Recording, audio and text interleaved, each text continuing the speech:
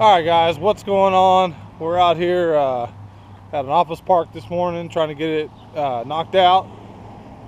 Got a couple other office parks to do today. Uh, not a whole lot of mowing going on today, but we are going to kind of service the equipment and do that kind of stuff.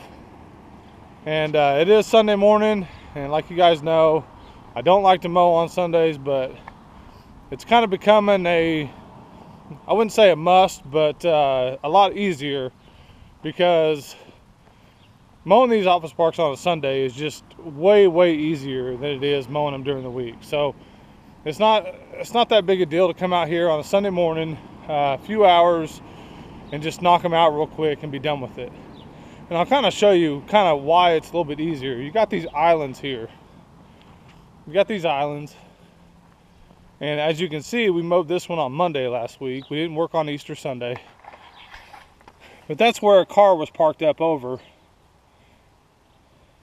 See, and that's where a car was kind of parked up onto the, uh, you know, it was kind of overhang there a little bit, and you just you can't get to it. And then they leave, and it looks like crap.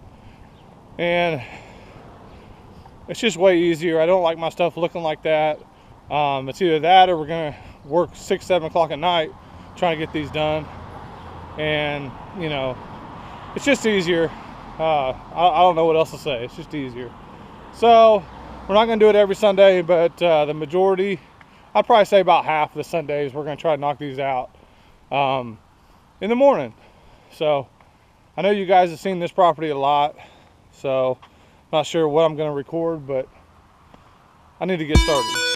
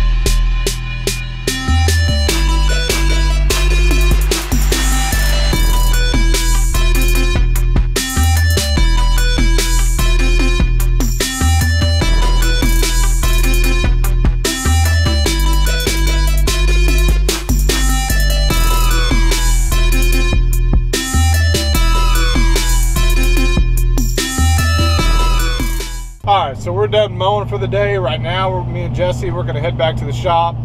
We're gonna try to get everything uh, maintenanced up for uh, for this week. Blades sharpened, uh, mowers cleaned, deck scraped, uh, things like that. I want to get the shop kind of cleaned up. Um, but the first thing I'm gonna do is I'm gonna load up all my grass. Uh, I got this truck full of grass.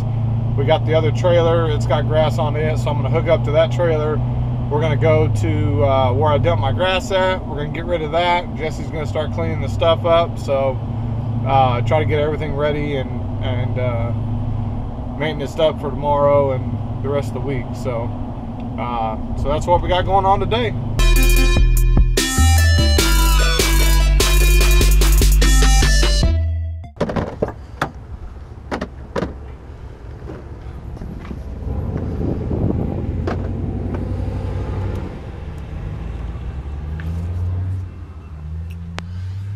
Right, so I get the question all the time, what trimmer line do I like the best? And honestly, I never really respond because I don't know how to spell Husqvarna. but this is the trimmer line that I love the best. Uh, I've used most uh, most trimmer lines. This is what I found works best for me. Uh, it tends to last a little bit longer. Um, I just I just like the line, so that's what I continue to use. So it's the Husqvarna Titanium Force. Uh, I use the 095 and uh, works out really good.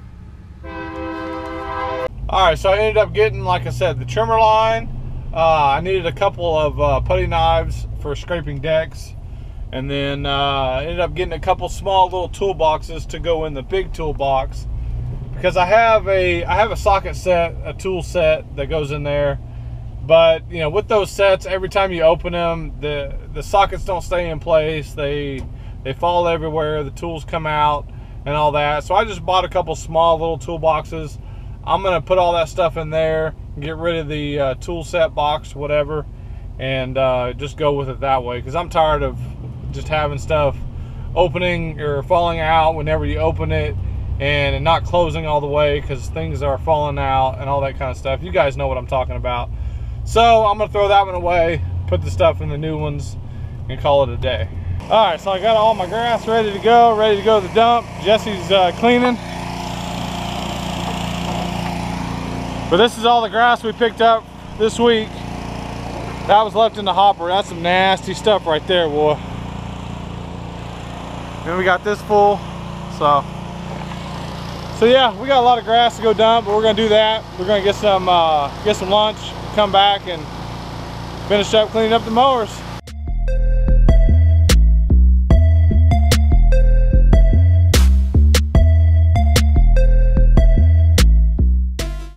All right, got that done. That sucked. And I know what you guys are thinking. When are you gonna get a dump bed or a dump trailer or something? Here's the thing. I really want one, uh, but you know, I want to keep my overhead the way it is. I don't want to buy anything right now. Um, definitely don't want to take out another loan. Um, and I could go buy the dump trailer or a dump bed right now, but I just don't want to spend that spend that that money right right now. So that's kind of where I'm at on that. Uh, you know, you know when you're running a business, or at least you know the way I think of it, uh, running my business. Uh, you know, obviously there's a lot of things that I need that would make my life a lot easier. A lot of things that I could use, and you know you can't just go out and buy everything all at once. So you know, kind of what I've done is try to buy the necessities, uh, things that are going to make my my uh, my job a lot easier, faster, more efficient as far as mowing goes.